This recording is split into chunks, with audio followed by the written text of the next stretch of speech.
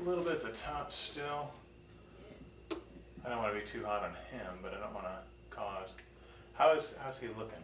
Because that that's pretty good on. He's got a shadow on the right side there. See how his face is all shadowed on the right? Yep, I do see that. Let's see. Hmm.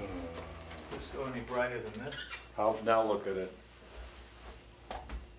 Is that The better problem or is that, that puts shadow on our green screen. Oh, oh though. oh, I see. That's see, why I had yeah. it open that Yeah, much. yeah. So, but what we What if can we do- slide your chair a little to the left, would that Yeah, offset? Let me try this. I don't know if we've got any more.